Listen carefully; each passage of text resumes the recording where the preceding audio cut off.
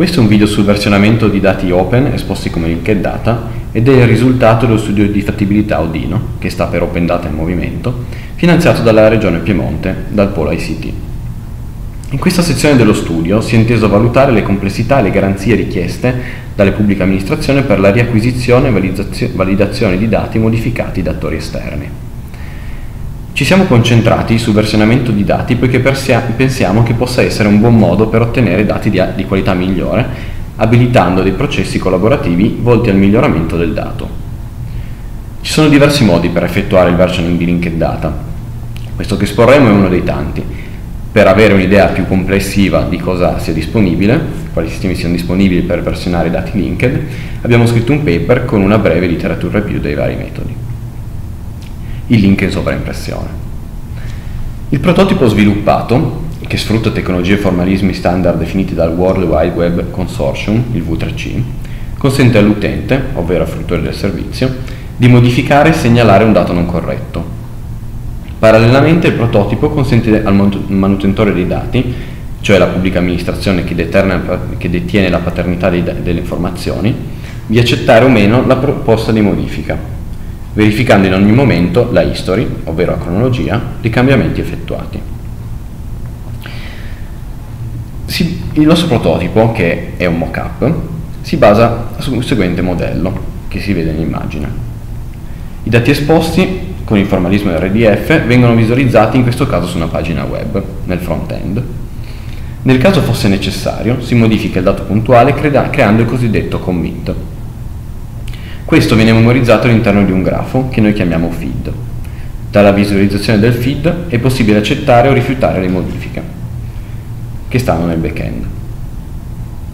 Il singolo commit, con lo stato accettato o no, viene memorizzato nella history e, nel caso fosse accettato, viene aggiornato il grafo principale, cioè il master, che viene visualizzato dal front-end.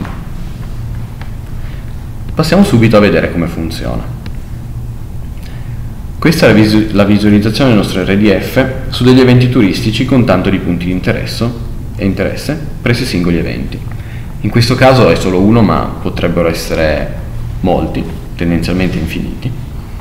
E come vediamo qui, potrebbe esserci, vediamo, un'imprecisione nella categorizzazione del, dell'albergo. Cliccando su quel pulsante, riusciamo poi a cambiare la categoria, in questo caso mettiamo hotel, e salviamo i cambiamenti. Andando nel pannello del backend in, in administration e aggiornando la pagina, vediamo che è stata proposta una modifica. Si vede dai dati del master e dai dati del feed qual è la, la modifica proposta e si vede anche dal commit chi l'ha modificata e in che data. In questo caso possiamo decidere se accettarla o rifiutarla, la accetteremo, abbiamo ricevuto il messaggio dalla history vedremo subito che la modifica è stata accettata e nel front-end, ricaricando la pagina, vediamo che adesso il nostro point of interest non è più un residence, ma è diventato un hotel. Nel caso ci fosse un ripensamento, possiamo tornare nella history e decidere che magari questa modifica che abbiamo accettato vogliamo portarla indietro con un'operazione di rollback. Clicchiamo quindi sulla freccettina, riceviamo un messaggio di conferma e la richiesta ritorna a essere pending, cioè ritorna ad essere nel pannello di amministrazione um, in attesa di un'accettazione o un rifiuto. In questo caso adesso mettiamo che la modifica fosse sbagliata e la rifiutiamo. Nel front-end aggiorniamo la pagina e vediamo che il nostro punto di interesse è classificato di nuovo come residence.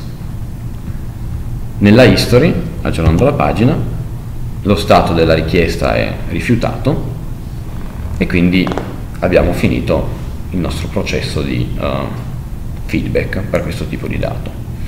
Se si volesse contribuire al codice o vedere cosa abbiamo fatto e riutilizzare, si può andare sul nostro repository GitHub dove è disponibile tutto, um, anche una guida su come installarlo il, um, il, link è disponibile anche nella descrizione del video insieme anche al link del, del paper che abbiamo scritto sul versionamento di dati linked.